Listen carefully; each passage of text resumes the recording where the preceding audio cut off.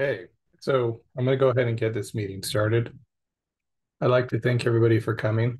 Uh, what we're doing today is we're talking a little bit about audiation and we're talking a little bit about composition. So when I teach composition, one of the things that I've noticed is that students tend to have difficulty when they get to that eighth measure. So in order to get past that eighth measure, we're going to talk a little bit about the secret today for that. But in order to get past that eight measure, you really have to understand what's going on in those initial eight measures. What I often tell my students that everything that you need to accomplish in the piece, everything that the piece is going to become, the hints and the clues for that often occur within the motives and the material that occurs in those first extremely important eight measures of your composition. Now, eight measures is kind of a general term. It could mean four measures, it could be 16, it could be 12.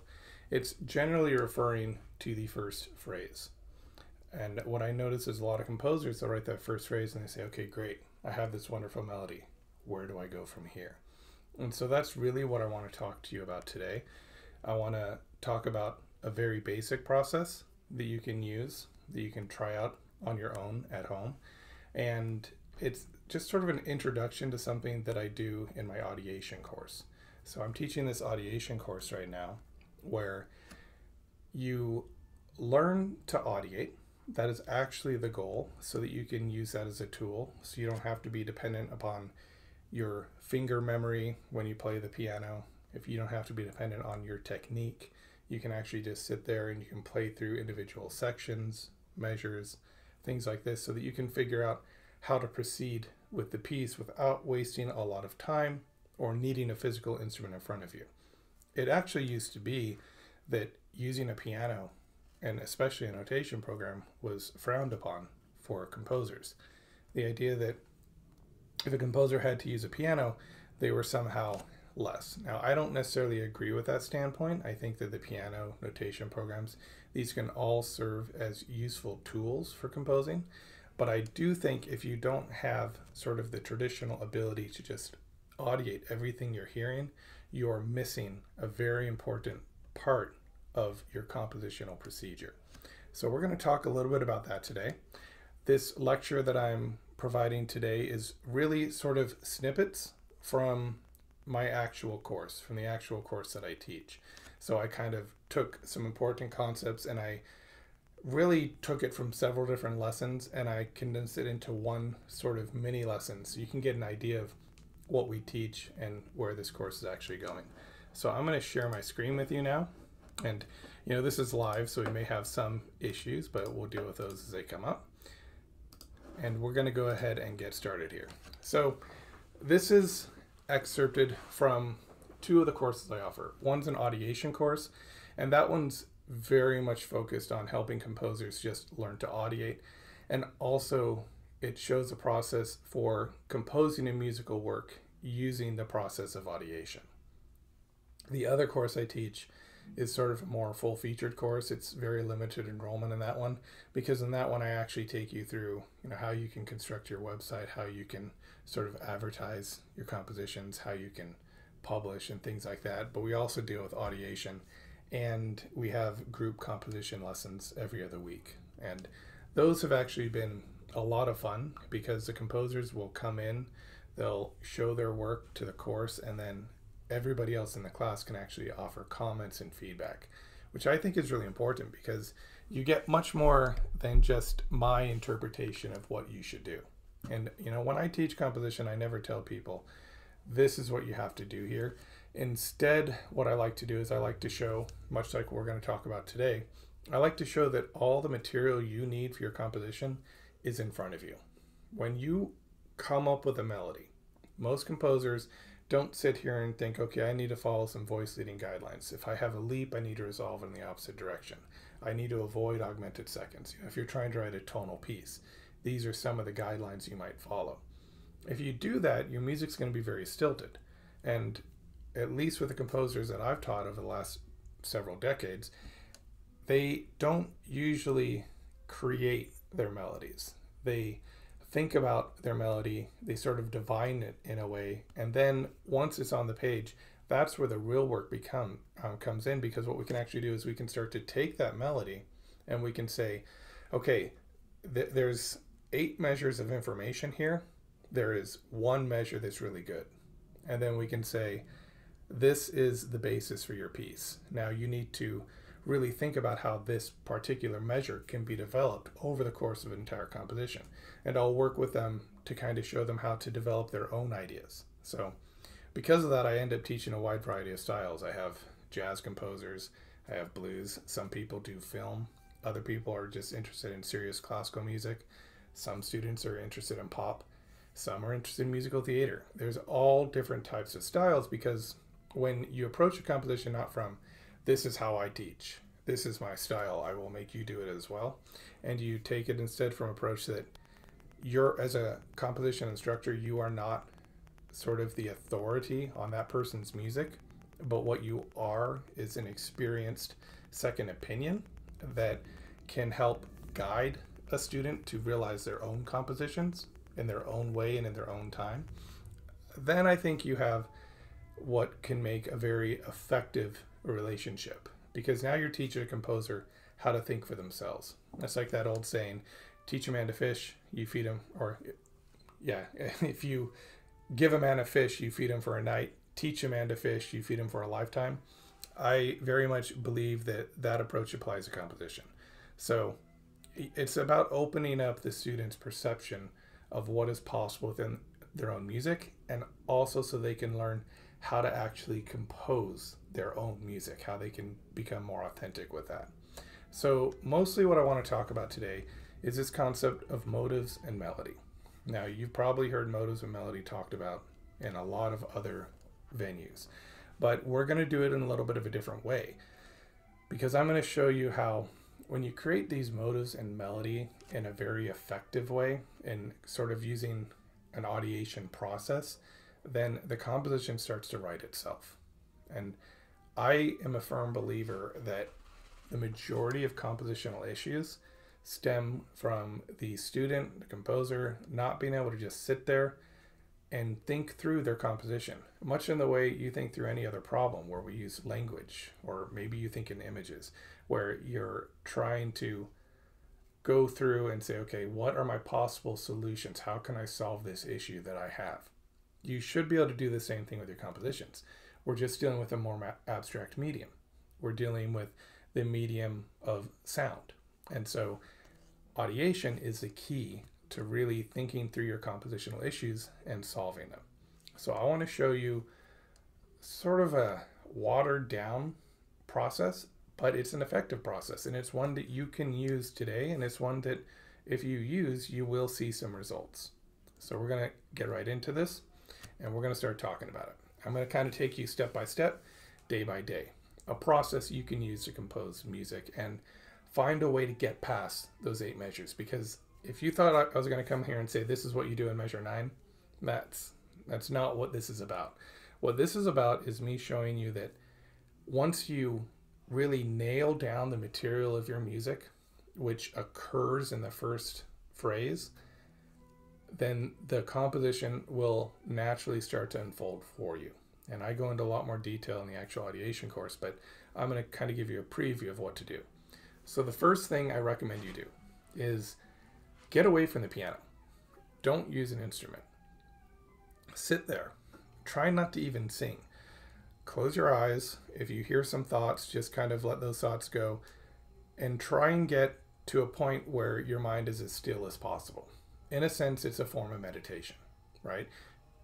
Because what you're doing in this particular assignment is you're trying to get to a point where you can just be calm and you can have the clarity of mind to actually hear whatever melody you're working on.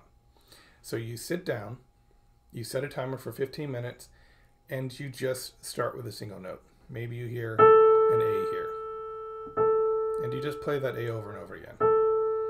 And then maybe that A turns into something. Maybe it hear another note.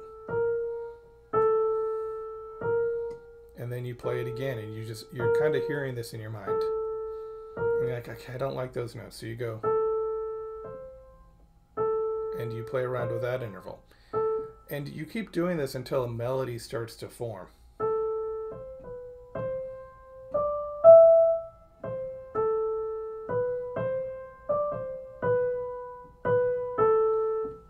Once you get the first semblance of a melody, you just play with it. You set that timer for 15 minutes and you just think through various possibilities for this melody. You don't judge it, just anything that comes to you, you let come to you. And if you're not experienced with audiation, then it might be a fuzzy sound. It might not be that that clear. It might even be in your own voice. You know, we have techniques for getting you to actually hear the instruments you want to hear in greater clarity. But the important thing with audiation is simply that you can hear internally something, a melody, something that you want to compose, right? And it can start with your own voice, it can start with you singing internally, but you want to try and keep it internally because we want to develop that skill. So, ideally, when the timer goes off after 15 minutes, you open your eyes and you say, okay, I have some ideas now. So now you pull out your notation program, staff paper, however you want to do it, and spend about 45 minutes notating a melody and make it about eight measures long. So I'm not giving you a lot of guidance right now because I'm not trying to tell you to write a very specific melody with restrictions. I don't want you to write a melody like I would. I don't want you to follow or have to worry about voice leading guidelines. I want you to be able to just compose this very intuitively. So with your current level, you write the best melody you can and you do it in 15 minutes and you just kind of play it through in your head. Now, you probably won't memorize it, but you've spent 15 minutes now playing around with ideas. So now you go to the piano, say if that's your instrument, and you find the first pitch. You know, you go around and say, okay, there, that was my first pitch. And I want it to go here. So you kind of write a D and an E. And then you go to the next step. You try and figure out what's the rhythm of the D and the E. And you work step by step. If you're more advanced, you can do this much more quickly. You can just notate the entire melody. But you take whatever level you're at and you just start because you're never going to get really great at composing if you don't just start, right? And so once you have an eight measure melody, it doesn't have to be good. That's not the point of this. The point of this is to teach a process. So once you have your eight measure melody down, then it's time for your remaining 45 minutes, which you should have set a timer for. You're going to go ahead and edit it. You're going to spend the entire 45 minutes thinking about this melody. How can I change it? How can I improve it? So you'll enter dynamics. You want to make sure there's a difference if I play something at piano or forte, right? If I play this, it's very different than this. And the dynamics could affect how that melody develops. So dynamics are important. You want to indicate how loud or soft it is. You also want to indicate any articulations. Should the music be played short? Should it be played accented? Should have kind of a tenuto where, you know, it's a very heavy pesante feel, you know? You need to articulate as much detail, detail as possible how you want the melody written and you spend the full 45 minutes. And for a lot of you, you're not writing more than eight measures, you're going to sit down and you're going to say, 45 minutes is a long time. I have my melody done immediately. You know, I, I got it finished when I was audiating it, or it only took me 10 minutes to write down my melody. What do I do for the other 30, 35 minutes? The answer is you keep looking for ways to improve it. And once you feel like you have a really effective melody, if you have time and you think this melody is completely done, then rewrite the melody three different ways. This is sort of an optional step, but I think it's pretty effective. So you take that melody, you try and rewrite it another time while keeping the essence of that melody. If it's a somber melody, it should stay somber. If it has particular motivic ideas, maybe you keep those, maybe you modify them a little bit but you want to try and rewrite the melody three different ways. So if people heard that melody played three different times, they would be able to say, oh, okay, I recognize how they're similar. I can't quite put my finger on it, but they do seem similar to me. So that's day one. You do this, you spend an hour, and you're done. You put it away. If it crops up throughout the rest of the day, if you start thinking about it again, or even if you dream about it, that's okay. You can allow yourself to think about the melody. But do not sit down and make any corrections. For the rest of the day, you're just kind of going about your day, doing it whatever you need to do, and you don't worry about your melody until day two.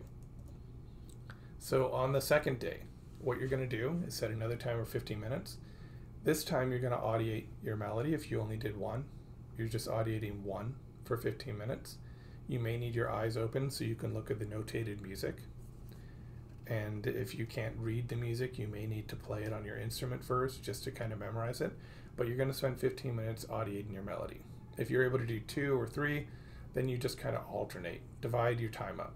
So spend five minutes on one, another five on the second, another five on the third. So you hit that 15 minute mark. If you only have two, spend about seven minutes, seven or eight minutes on each one. Okay. So then once that's done, you've been audiating it again. You're trying not to change it at this point though. Whatever you wrote down, you are restricting yourself. You're saying, I'm just going to audiate what I wrote. You'll probably come up with ideas on how to improve it, but you're not going to go ahead and do that at this point. You need to suppress the urge to change it because that suppressing the urge to change your melody actually makes you want to change it in a lot of cases. You'll start to notice other ideas start to come in, just kind of push them away, focus on this melody because eventually we want those additional ideas to come back. After we've written those first eight measures, we want them to come back because now in measure nine, we unleash it and we allow it to sort of start developing. So that's kind of the process here. And I'm trying to do this very quickly because I only have about, you know, 30 minutes to get through all this.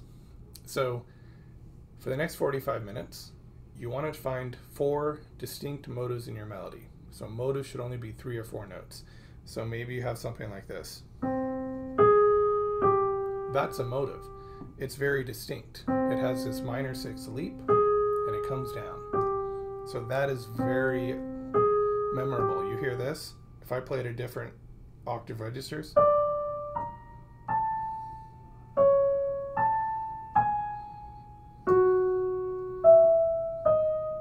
and then you can start to change it a little bit.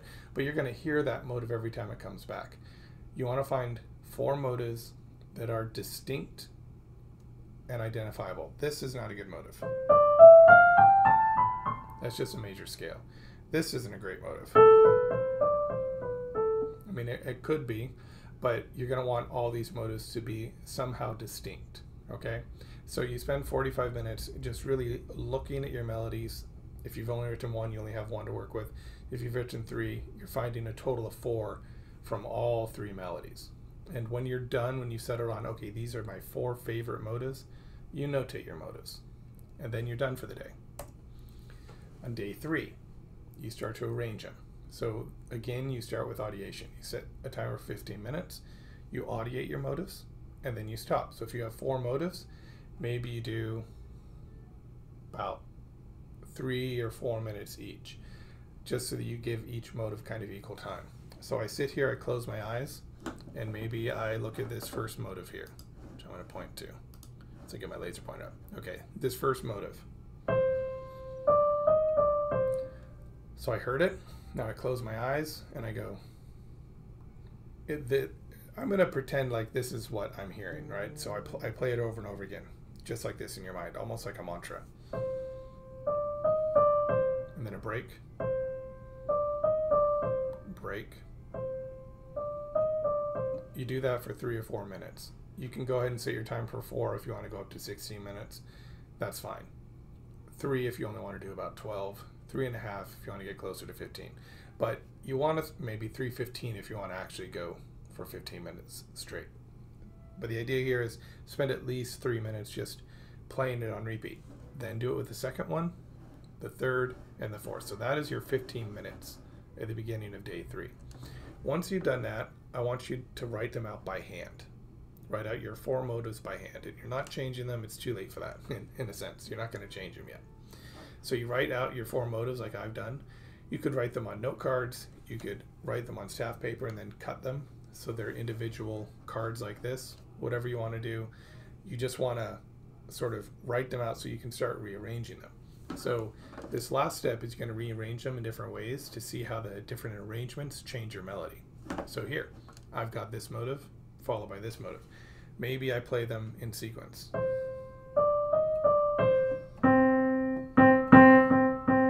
Okay, um, maybe I like that.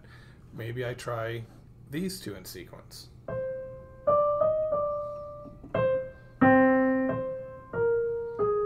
Okay, or maybe I want to see what these two sound like.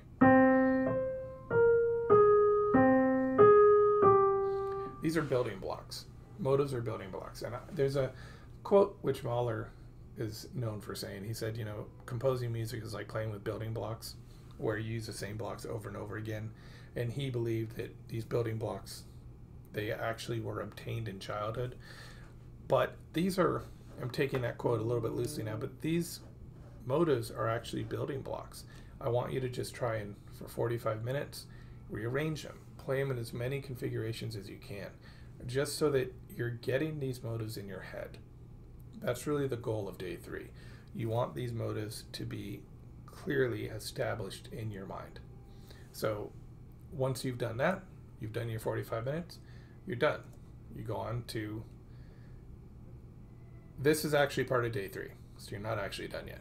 So on day three, you know, you, you go through and you do your 15 minutes or you set a timer for 15 minutes, audiate your motives, and then stop.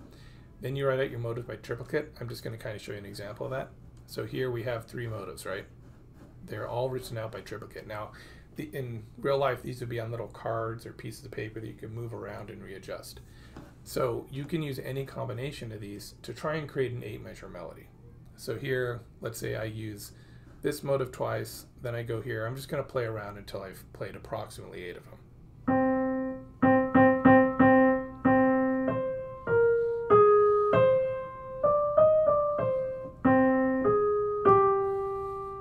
And then where can I go from there? You play around with some ideas. That doesn't really work, so you kind of play around with these and you just keep rearranging them the goal is not to write a melody at this point.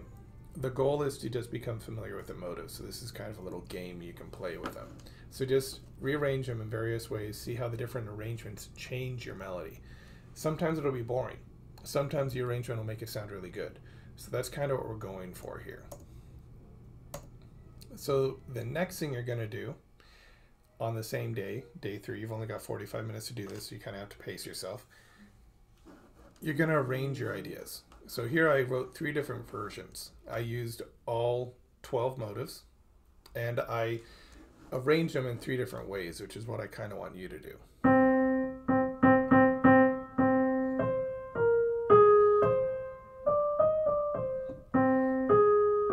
So that's my first one. I kind of audiate it. And then I try my next version.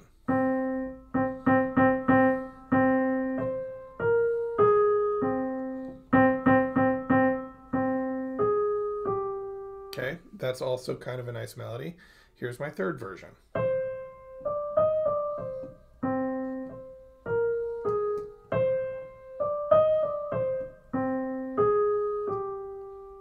So that's a nice melody too. Now you'll notice there's only one, two, three versions of this idea. One, two, three versions of this idea. One, two, three versions of this idea, and one, two, three. So you may only create two melodies, using your motives. You may create three. You may even create four where they're just three measure phrases. Doesn't really matter, but you don't want to use more than what you have in your cards. So you can't use this motive four times because you're only allowed to do it three times. So that's day three. You go through, kind of, let's summarize this. You go through, first you write out your motives in triplicate by hand. Writing by hand is important. You have to do it by hand. Then you cut out each motive and place each one in front of you. And then rearrange them in different ways to see how the different arrangements change the melody. And then from there, you try and create one, two, or three different melodies, maybe even four, using different arrangements of the available motives that you cut out. Okay? So that is day three. And again, this is all just prep work. It's not like if you don't follow this process perfectly, it won't work. It's it's not anything like that. It's simply restricting yourself, preventing yourself from doing anything other than what you wrote on day one and two right now. Day four is when you get your free composition. So for 10 minutes, you have your motives laid out in front of you. You want to audiate each motive, the sequence like I have here. I have four of them laid out. So you want to audiate each sequence you created on day three and choose two or three. So if you did four options, only choose three. If you did three different permutations, then only do two. But choose a couple that work really well together. So here I only chose two motives. I have, well, this one actually has all four motives. So you'd want to only choose like two or three that work well together. So here we've got one, two, three, four. I used all four of them. What you'd want to do is try and just stick to two motives. If you have to do four, again, it's not the end of the world. This is still just a process, but you want at this point to allow these motives to come together into one melody. And so you can repeat these more if you want to now. You can have this motive for all eight measures if you want, but it might be a little bit boring, right? But it's free composition now. So here I have this first melody. I don't have to go down the octave here. I don't have to go back to a C. Went to a G instead. Here, I don't have to go down to that C there. You know, you can start to play around with it. You can start to change the pitches a little bit because this is free composition, but you're still restricting yourself a bit to the basic rhythmic values from your initial motives. Also, to the basic ascension and descension, right? So if the melody is going up, your melody should go up. If it's going down, your melody should go down. Here we have a huge leap, so there should be a huge leap. Whether you do the octave or you do something else, or even this, that's fine. Just follow the contour of these initial motives because this is all about development. What you've been doing these first few four days is playing with some motives, becoming familiar with them, letting your brain kind of put them into its psyche, and you are reaching a point where you can start to develop these motives a little bit more effectively, right? So you can get creative with them. That's all this is. This is about putting some ideas in your head so your brain can get to work and write the rest of the piece for you in a much more intuitive way. And I'm going through this fast. Uh, this would actually be several, several lessons if you took the actual course because we go step by step. And so what I'm doing is, in a way, showing you a little bit of an end product prematurely. All right, so the final day, it says day six. I cut out day five, but because of time here. But for day six, you're going to notate it. So you write down your final melody. It's time exempt. It means it doesn't matter how much time you spend. You now sit there on day six, you come to it anew, you forget about everything you've done, you try and use similar motives to what you've been working on because that's sort of the goal. We want to have the brain concentrate on these ideas it hopefully you liked and you just play around with it. So here, let's say I have a four measure melody. This is one construction of the melody. I wrote it like this.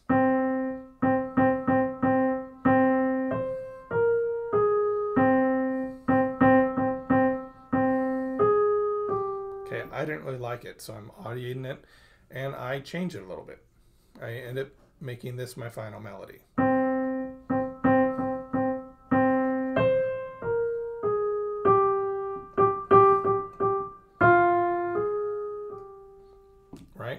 And so notice I added articulations, I added slurs, I added staccato, I added dynamics.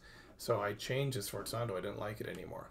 So I made all these changes to my melody now I have a complete melody and I have taught myself my melody in the process. I have essentially said, okay, look, these are your materials. You have now worked with them for about a week. You are now familiar with these materials. At this point, this is where it gets a little bit more complicated. And we, we only have a few minutes to talk about this. But from this point, what you do is you audiate 30 minutes a day and you spend time just playing this melody over and over again. If it changes this point, that's okay. What you want to do is let it change. Let it do what it wants to do. Free it to do whatever it decides is right, right? And you don't necessarily have to notate anything. Just spend a couple days. And when I do this myself, I, I actually spend weeks or months on a single melody because I want it to develop on its own. I don't want to force anything. I don't want to say, I'm going to fit you into this form or I'm going to fit you into this mold. That's what happens later.